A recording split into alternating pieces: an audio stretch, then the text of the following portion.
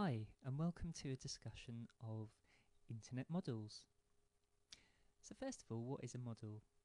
I've defined it here to mean a set of statements or beliefs about a phenomenon which are brought together to help us make predictions about that phenomenon.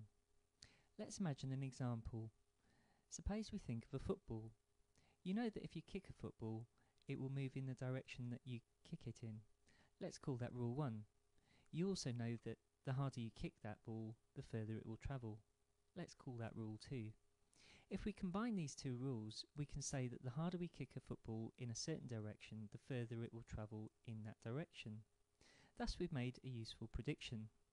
Our brains build models all the time, but we usually don't think about them, and we certainly don't write down the rules. So what's an internet model? Well, this is a term that I've come up with to describe a model that is developed through collaboration on the internet without those collaborators needing to be experts in the field. This has a number of implications. Firstly, the theory or data needs to be explained in a way that makes it readily accessible.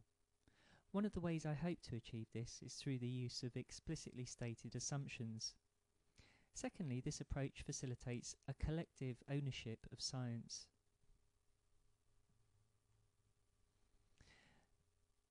So what about the internet medium? The internet offers a number of different and evolving means for communicating, including, but not limited to, web pages or blogs, audio recordings, podcasts or conferences, forums, email, and software solutions. Thus, the internet allows us to communicate in new ways. Here is an example. If you imagine a normal conversation, two people talking to each other in the same room, they take it in turns to speak and then listen to each other. On the internet, with the use of video recordings, there is a variation on this which I will re refer to as distributed conversations. So, I've recorded this presentation, but someone may produce their own video response, and someone in turn may respond to their presentation. If each presentation is considered as a node, then at each node there can be several responses, as shown in the diagram. Thus the first video can set up a tree-like structure of responses, which is vastly different from the conversation we first considered, as we can review all of the branches of those online conversations. This non-linear dialogue occurs offline as well, it's just the process is much easier to trace online. For instance, video, text or audio trails are left behind and can be easily identified. So, what are the possible outcomes about an open collaborative system for developing science? Well, first of all, this approach might not take off. People might just decide to leave science to the scientists. I'm more optimistic though.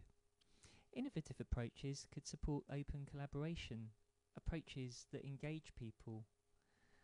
If people can have ownership of science, then this could foster an increasing interest in science an open collaborative approach could advance science much more quickly, particularly with the use of appropriate software.